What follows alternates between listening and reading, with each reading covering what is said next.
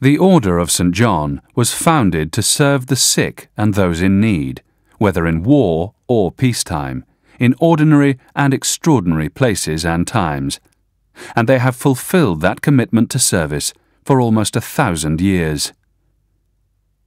The Order now spans the world, a world of contrasts and conflicts, a world of affluence and deprivation. But the needs of people remain the same. They want comfort when they are sick, care when they are in need, and protection as they go about their daily lives.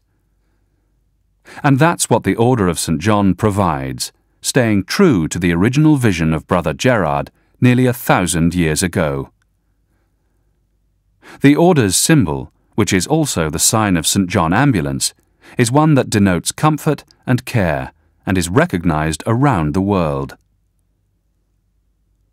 In Britain, St. John is the leading provider of first aid training, and you'll see volunteers at almost every public event you can think of. Volunteer members work in 42 countries and have over 300,000 members, all serving the public wherever and whoever they are. And most of them are young. From five years old to 21, badgers to cadets and links, they work with older members to make a difference to people's lives, saving them, making them better. Wherever you go, you'll find the Order of St. John. You'll see that symbol.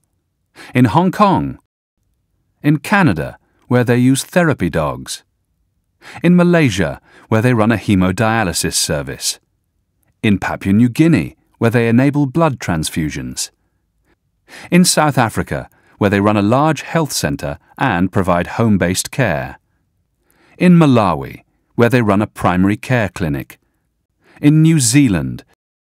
The list is long and impressive.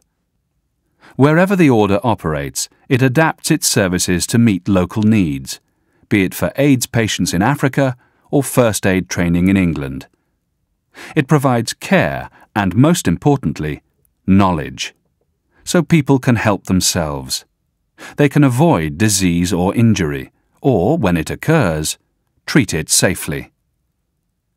The Order's volunteers enrich their own lives, learn skills, and build confidence, so that they can make a big contribution to their families, friends, and societies, wherever they are.